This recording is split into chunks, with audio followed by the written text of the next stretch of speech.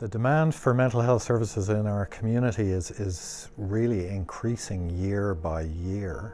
Probably if one looks at the consultations that psychiatrists do over the past five years, it's probably increased by almost 50%. We provide acute care, which is emergency care, uh, people who are acutely ill. Uh, we have a acute care outpatient service, uh, an emergency service for crises, and an acute care admission service. I would say that uh, probably of our admissions to hospital, more than 90% come through our emergency department.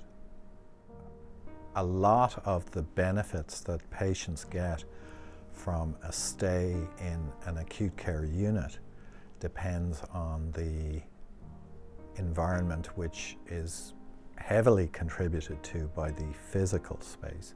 It's the ward milieu, uh, interaction with other patients who are suffering from similar conditions is often a powerful change agent for the better for, for patients. Um, so if the physical environment is not conducive to a therapeutic milieu. Um, it just reinforces the stigma that a lot of people feel about mental health.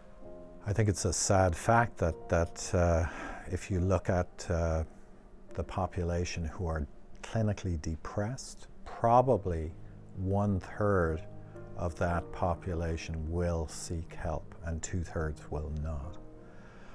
Um, and that is largely because of the stigma people feel. They, they often equate mental health issues with weakness uh, or some deficit, uh, whereas in fact it's an illness like any other, it's a common illness and it's very treatable. This campaign has the potential to make a huge difference to the care that we can provide and uh, it will enable us to engage patients in their own recovery in a setting where they feel comfortable doing that. We know what we need to do and it starts with hope. We hope you'll join us.